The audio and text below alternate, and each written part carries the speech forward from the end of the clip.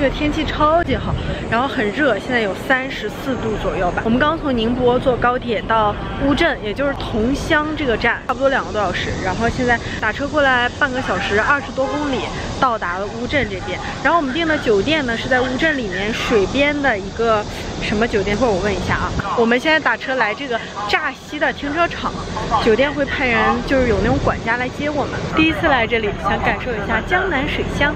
房间费用的话是一千五百五。一共是三千一，门票是一百五加三百，一共是三千四。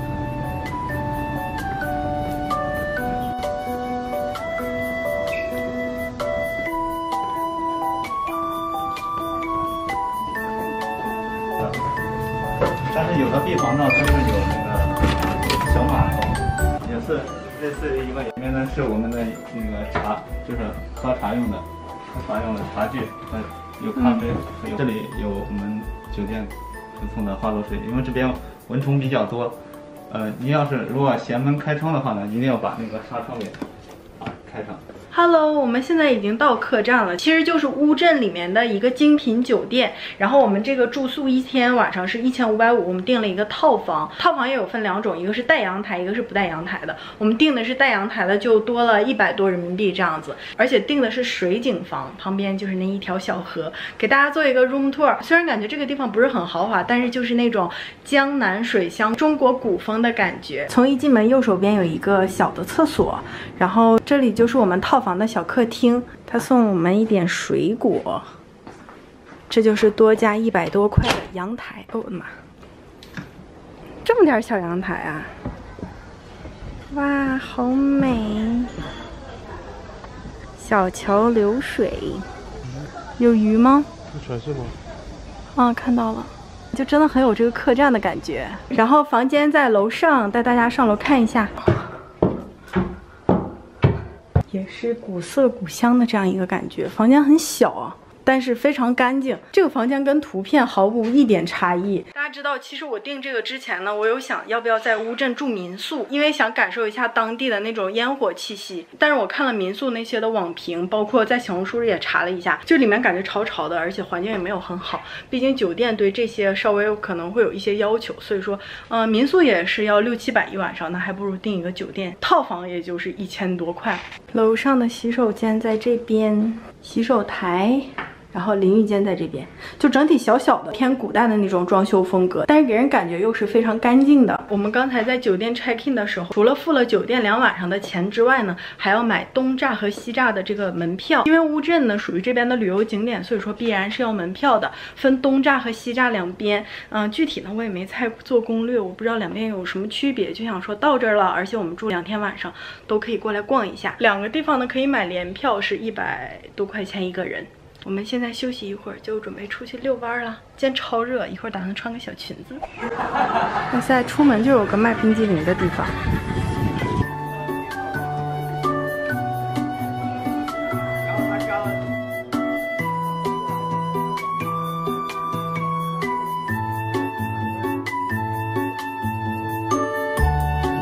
这是啥东西啊？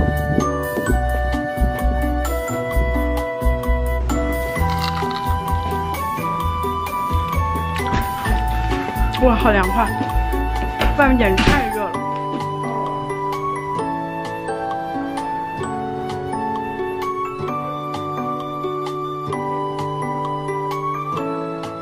外面现在简直太热了，然后我们找到了一家餐厅。我们来乌镇的第一顿饭，竟然已经出了乌镇外的景区了。这家呢叫寻乌水宴餐厅，在网上的评价很高，所以说我们就出景区来到这里了，来尝尝当地的菜系。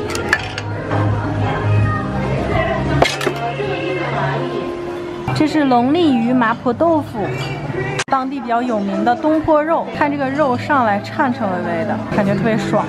风味酱板鸭也是当地比较有名的，小红书好多都在推荐。这是他们家推荐的独家茄子煲。嗯，会不会有点太肥？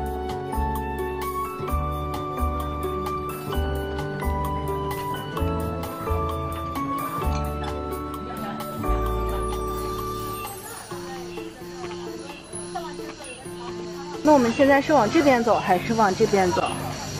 嗨，现在是晚上七点钟，我刚刚回去冲了个澡，然后回去休息一下，换了一身舒适的衣服，感受一下西栅的夜景。他又在买糖葫芦。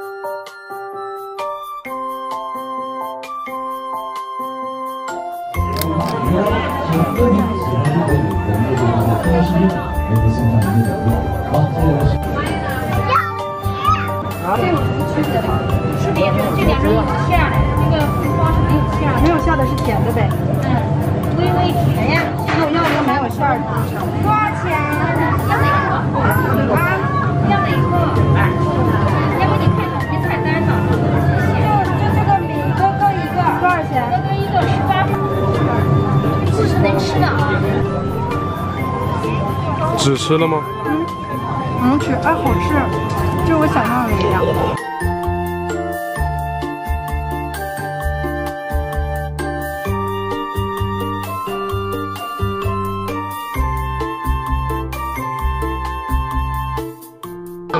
这个是乌镇邮局，有非常多年的历史的那种，一直保留至今的一个邮局，大家可以在里面买明信片啊，给自己想寄的人。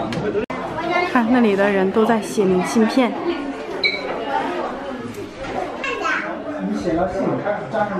十五年搬家怎么办？我帮你调松一点。调。这儿这儿。学位等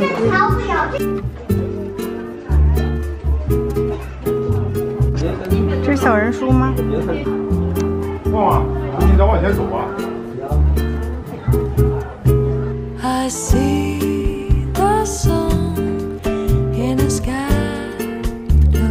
品和彩妆是吗？嗯，这边护肤，这个没彩妆。这是咱们国产品牌吗？嗯，，OK 了。鸭蛋粉是干嘛？散粉吗？嗯，都定妆散粉，也可以做晚安粉用。头油呢，还有这个护发喷雾呢，体香膏，国产的那种香水就是。OK，这是我们香粉，放房间一定熏香的。这种放在衣柜里面，那么衣服上就会有这种淡淡的香味。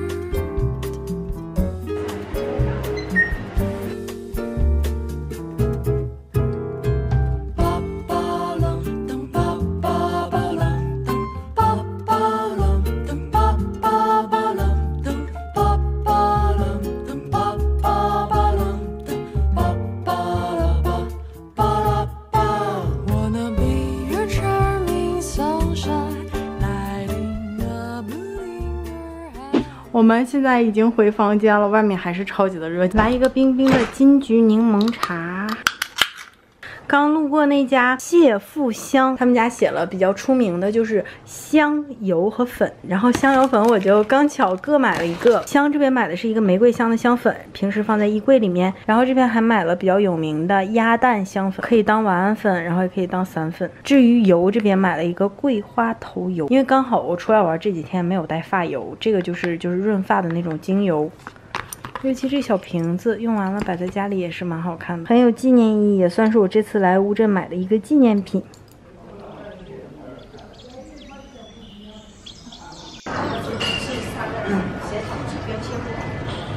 我们现在来酒店的这个中餐厅吃早餐了，我想简单的吃一口，多吃一点菜，一会儿出去还要吃。然后这个是手冲的咸豆浆，这是我生平第二次喝，再尝试一下。其实我们酒店呢有两种早餐可以选择，一个是酒店本身自己自带的，然后另一种就是这里比较有名的叫早茶客。但是我们今天没有预约，所以我们打算今天预约，明天早上去体验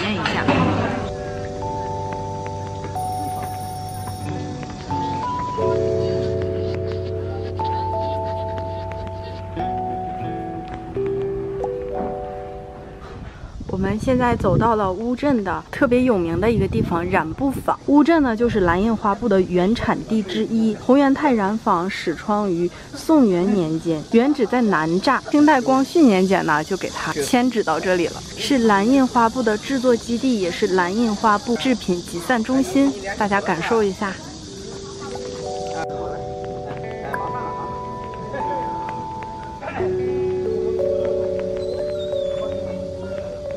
刚刚打卡完了染布坊，我们打算趁白天，因为是十点开门，到下午的五点半就关了，去东栅看一下。我们不是买了联票吗？东栅呢就没有西栅这么大，所以说很快就能逛完一圈，我们就回西栅。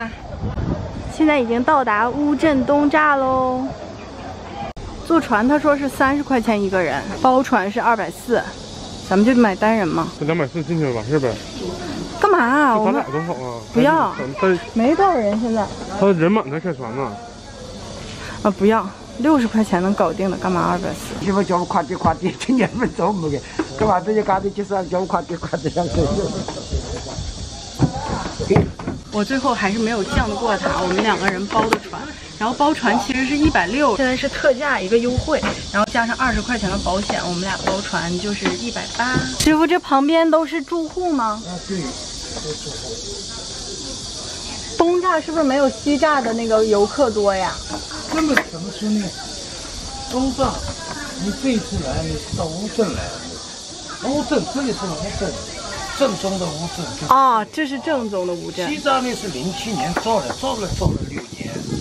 以前一间房子没有，征用土地全部造出来的。这哦，河也是挖出来的，啊。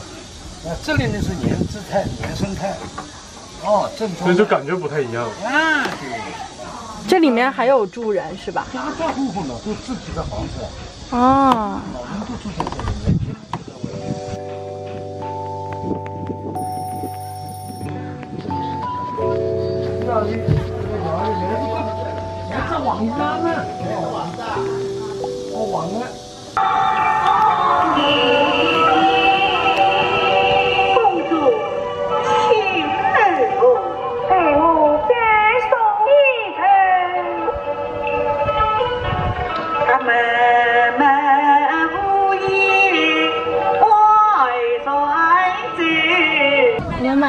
买一个姑嫂饼，你知道这是什么典故吗？知道。就是小姑子和嫂子关系不好，然后饼是甜的，小姑子往里放一一把盐，说你给我买个尝尝呗。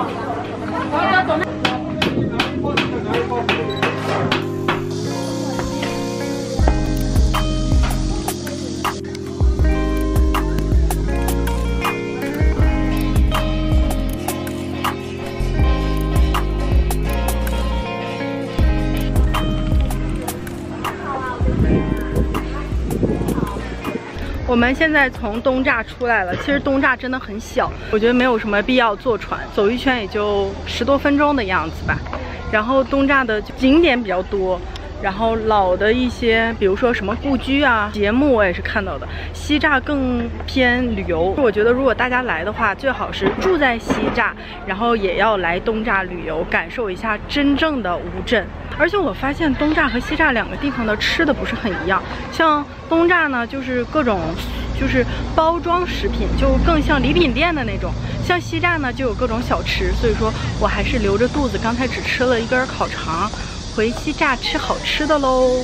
我在网上看小红书，一家咖啡店特别的火，然后结果发现它竟然在景区外门口，所以说我们打车回西栅的时候路过这里，就稍停一脚，买两杯咖啡。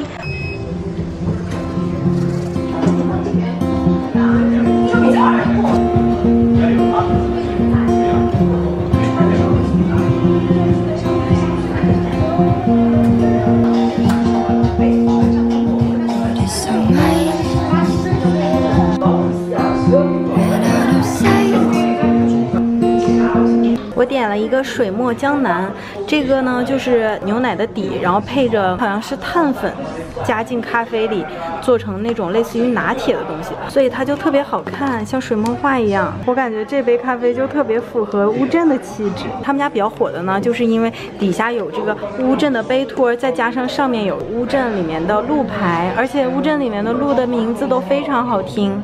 另外一杯呢点的是荷包蛋拿铁，上面好像还有一些咖啡粉，然后这有一个小小的荷包蛋，是那种奶油和糖精做的吧。Looking through your eyes, now you're just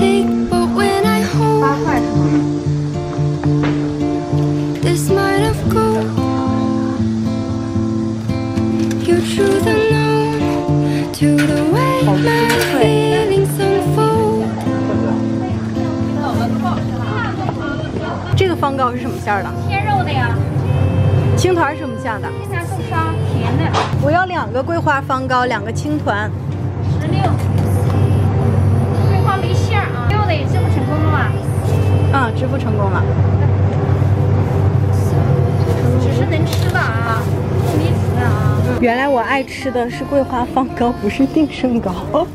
我昨天一直都说错了，我要再再买一个定胜糕尝尝。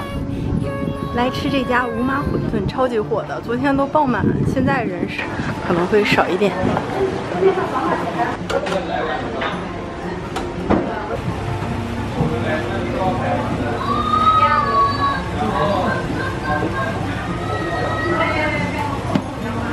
春卷，五号这里。里边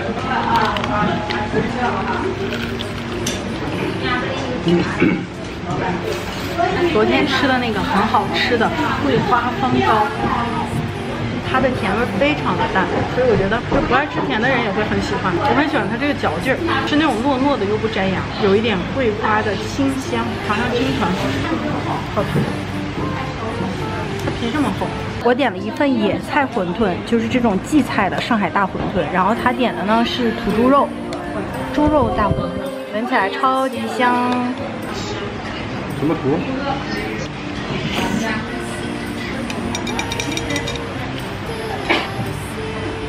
我觉得好好吃，你要不要尝一下？我也好好喝。你给我一个呗。荠菜口感特别好，然后里面还有一点点香油的味道。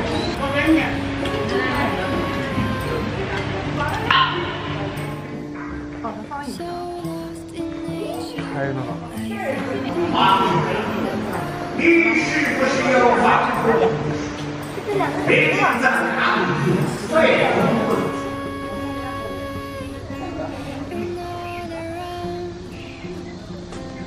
给我来两根吧。来一个不行。啊，那一根吧。你要吃鸭腿吗？鸡爪怎么卖啊？哎，麻烦给我拿一个定胜糕。好的。这里面是有馅儿的吗？啊，对，里面是有豆沙馅的。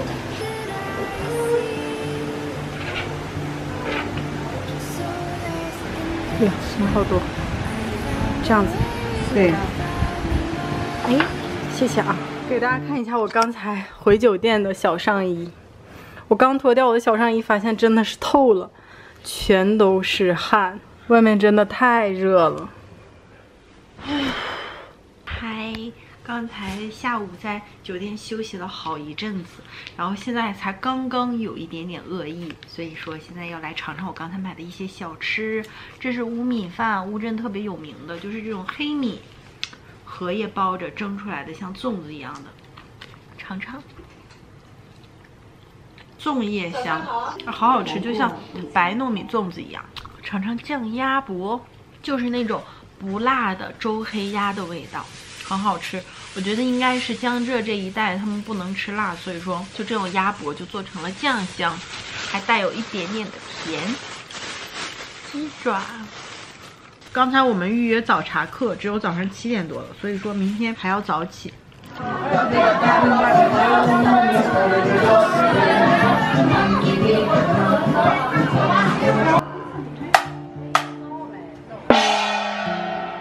风歌入道，跳起舞。哇塞，这是早上的水上集市吗？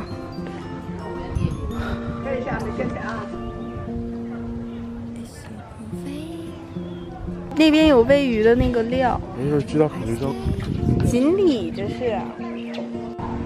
线上就找到有红色扫码，哦，他是给我们三十块钱的名额，多了要自己付。所以说我们不是一一定要一一家饭店吃的是吧？那我还挺想吃馄饨的。这是什么样的糕？可以看一下吗？啊，我要一个，要一个豆沙的。这就是早茶课了是吗？是的呀。哦。糯米纸可以吃了啊。啊，好的，好的，谢谢。哦，我就说它是有那种大米的香气的，它就是米糕，好吃。最近这几天吃它是最多的。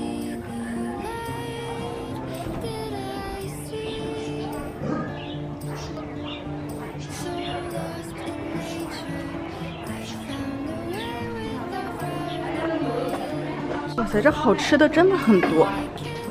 这什么馅儿的包子？团子，青团。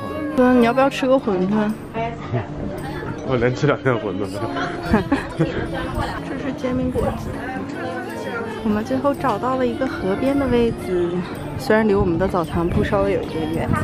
我们的早餐现在已经到了，他现在打算再去买个豆浆，点了笋尖烧麦、牛肉粉丝汤、大馄饨，一个包子。这个包子是这边比较特色的素馅，香菇油菜的。然后这有一个豆腐干，看这个大包子真是不错，就这种带汤汁的。嗯，嗯，酱肉包。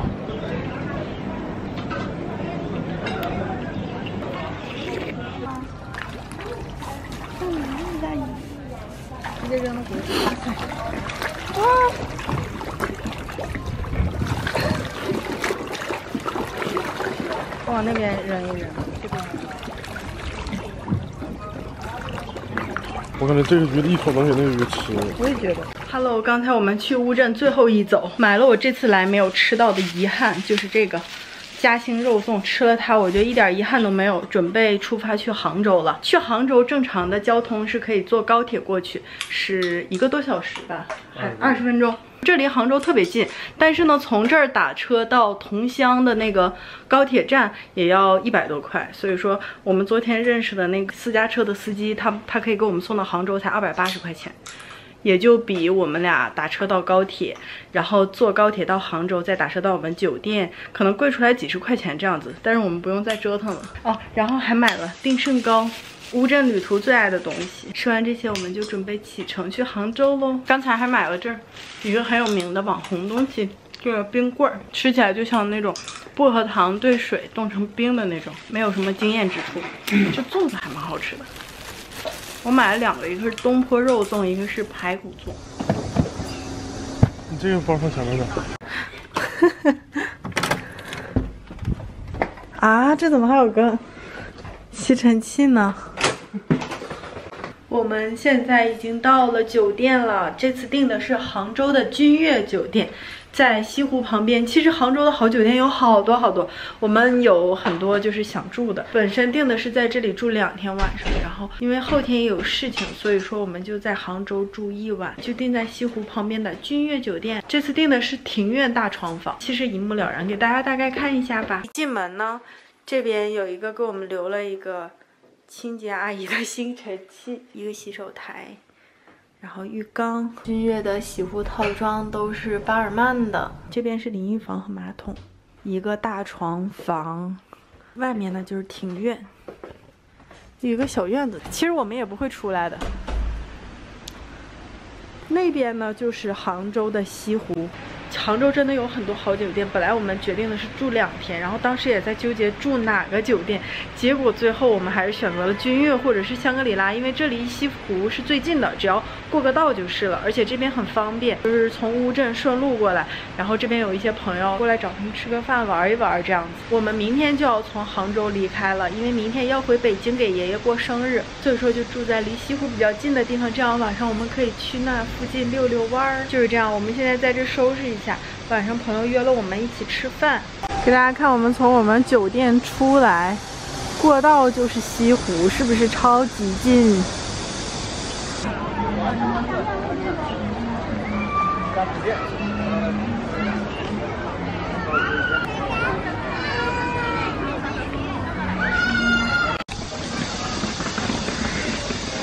回国之后好爱吃这种带肉的烤肠，特别的香。那个糯米龙虾来一个。呃，黑松露糯米龙虾。对，花椒炖老鸡，特色的菜给我们介绍一下吧。就是杭帮那种素鹅，莲藕来一个，素鹅来一个，这个要不要吃？特别鲜，有鳞片，这鳞片也能吃啊？可以，还有人，这我们的获奖名菜招牌死鸭黄啊，用我们的传统做法酒酿黄酒蒸，这边帮你起一下鳞，改一下刀。鳞片也可以吃，这个不是鳞片一般都是入入药的这个，也是入药。它含有那个卵磷脂成分。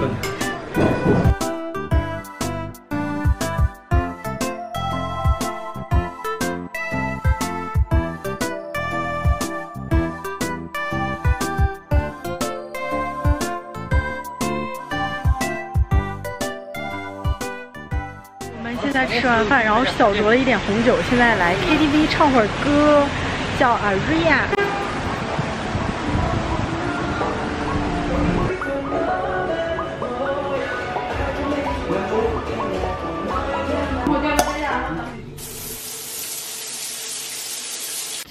刚好，我昨天去完唱歌去夜店，就一个人平均喝了一瓶半的红酒，然后再加上一些洋酒，哇塞，我真的是死亡了。昨天蹦到了三点，作为九四年的老阿姨呢，现在感觉浑身的骨头都要散架子了。我们现在订了点外卖，在酒店吃一下，然后一会儿就打车去上海浦东机场啦。我们从西湖这个君悦酒店打车到浦东机场，然后坐飞机回北京。看起来还不错啊，我点了鸭血粉丝汤，那个绿豆汤，这边是生煎包和煎饺的双拼，小笼包和双麦的双拼，一个咸蛋，一个小馄饨。他点了小炒肉盖饭和西红柿蛋花汤啊，这还有我的小黄瓜咸菜和茶叶蛋。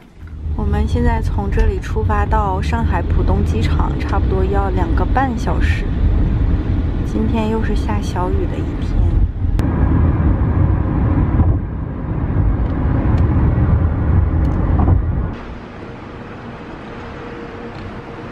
我们过来一共一千零八十五，好贵呀、赶上机票了。那我们为什么不打滴滴呀、我们现在到浦东机场了，来吃点汉堡、薯条。好久没吃这个，竟然还有一点想念。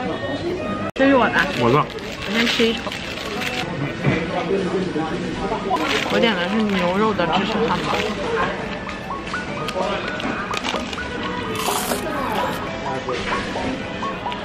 我